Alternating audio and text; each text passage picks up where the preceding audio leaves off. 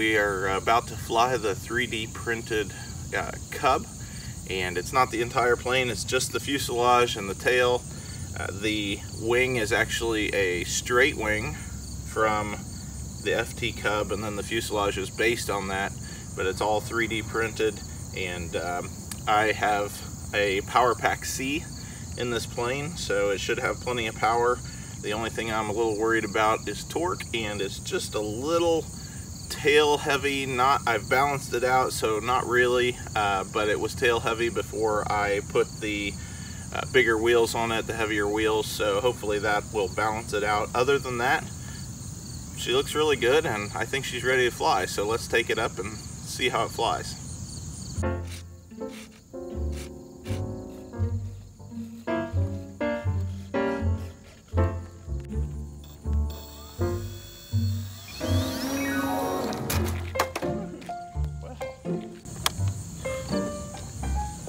Have some P factor on takeoff apparently. We're gonna try that again. Maybe with a little right rudder. Trim that out just a hair.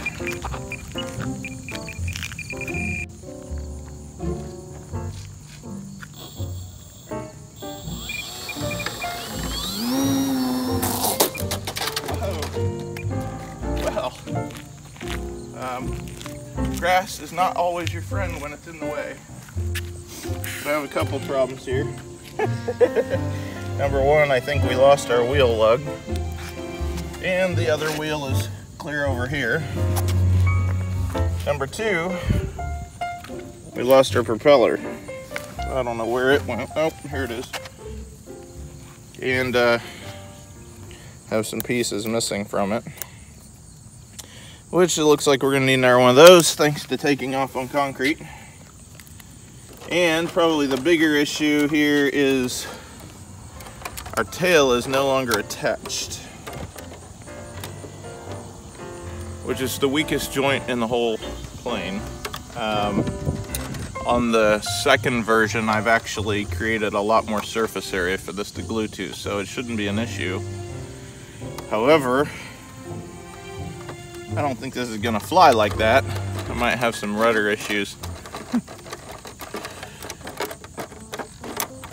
oh well, we'll figure this out one of these days. Um, just not ready to uh, just not ready to give up on this project yet. So hopefully we'll be back here in a couple of days with the new plane and uh, we'll see how it goes.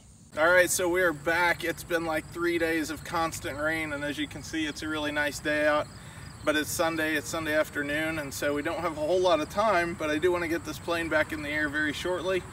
Um, I have solved the problem of ground looping on takeoff, um, we're not going to take off of the ground. We're actually going to launch it. So I brought John out here. He's going to launch it for me.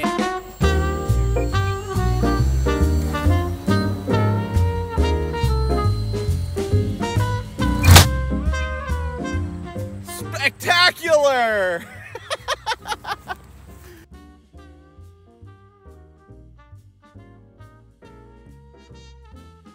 Was crash-tastic. So we got a couple issues going on here. It looks like it looks like this fuselage joint survived. I'm actually pretty happy about that. Maybe next time I'll uh, have to reinforce the whole thing. But unfortunately, the two glue joints that I've reinforced on version 2 did not survive. So much for version one. It looks like we did a little bit of damage to the nose up here, but this is only version one.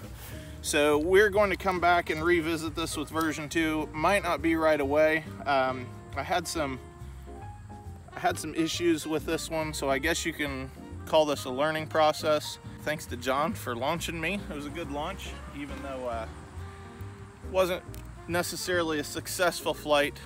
Um, let's take this plane and have some fun with it.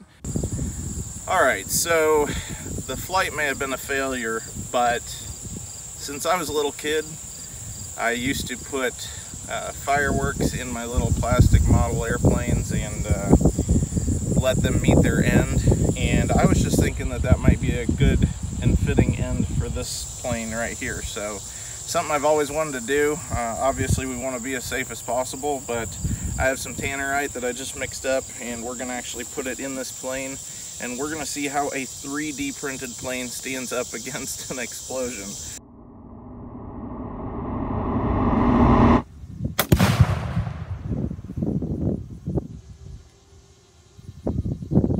Well, it took me a few tries, but I think we got what we were after.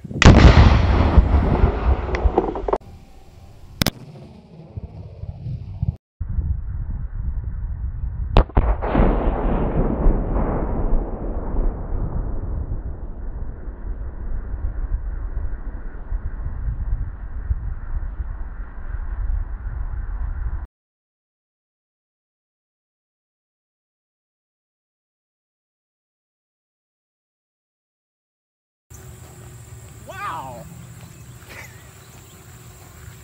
Well, there is nearly nothing left.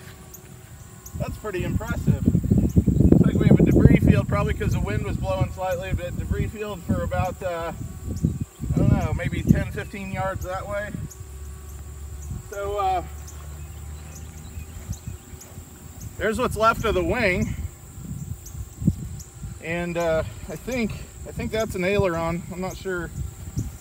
It looks like we did, uh, wow, impressively enough, the horizontal stabilizer is encrusted with dirt and I had already torn the control horn off, but it survived. And uh, just to prove the, the worth of 3D printing and the flexibility, it's still in pretty good shape. There we go. It split right at the control horn where I'd already torn it. So that's pretty impressive Let's see. Oh, here's a rudder. And uh, here's the bottom part of the rudder. So we know the weak points now. It's at the control horns. Could probably reglue that together and reuse it. Here's a horizontal stabilizer. Blew the hinges right out of it. Another horizontal stabilizer. Here's the rest of the wing. And yes, it does look like shrapnel. Wow, that's impressive. Check that out. Whew. So, combining two of our favorite uh, hobbies, if you will, that's pretty awesome. Uh, RC airplanes exploding did a lot of damage. I don't know, maybe we should have kept this and uh, pinned it up on the wall, but uh, I think that's pretty cool.